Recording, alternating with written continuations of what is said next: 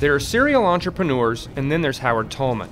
The frenetic 62 year old has started 10 companies in 28 years, dealing in everything from auto repair software to venture capital to product promotions. Now Tullman is turning his sights on education, a business long dominated by nonprofits and governments. His latest venture, Flashpoint Academy, a loop based school that trains students to create video games, music videos, and special effects. Of the top 20 fastest growing jobs, animation, uh, digital filmmaking, and everything related to digital internet commerce are all among the top 20 uh, growth areas. Vocational schools, including big Chicago names like DeVry and Career Education, have at best a rocky business history. But that isn't stopping Tullman. Flashpoint admitted its first class of 140 students in January. It's expecting another 300 freshmen when school starts in September, each of whom will pay $25,000 a year for the two year program.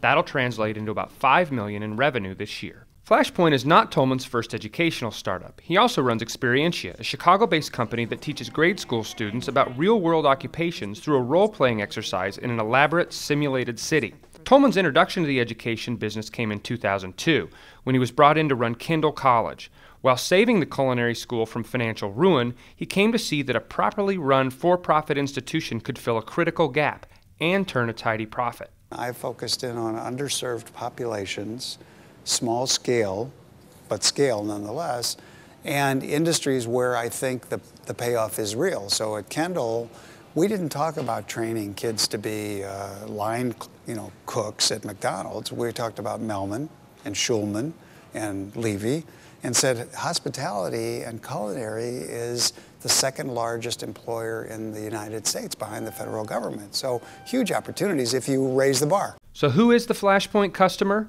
The C student who spends his time in his parents' basement tinkering with computers and playing video games.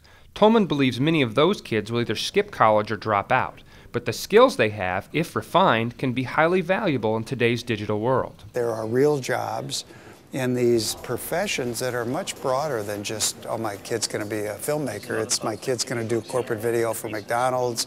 He's going to do filming for the city of Chicago. He's going to make special programming for the Olympics.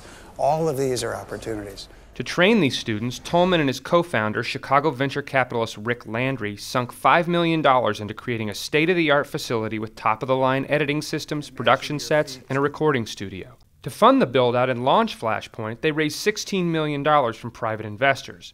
And while Flashpoint may be an unproven concept, investors are clearly betting on Tullman and his track record. Of the 10 companies he has started, only one has failed. But if Flashpoint is to be another Tullman success story, he also must convince skeptical parents that he can turn their offspring into well paid digital content creators. To prove his know how, Tullman points to another past venture, making video games. In 1996, he developed a successful game based on the Arnold Schwarzenegger film Eraser. The storyboard he wrote hangs in a Flashpoint computer lab. This game has uh, 2,800 outcomes because the um, everything varies. Who's the bad guy? Who's the good guy? But for Tullman, Flashpoint isn't a game, it's a business where the only outcome that matters is the bottom line. One of the fun things here is teaching another generation, all these kids, just about hard work and how ultimately it comes down to uh, believing in what you're doing, working like a pig, and being sort of accountable for what goes on here.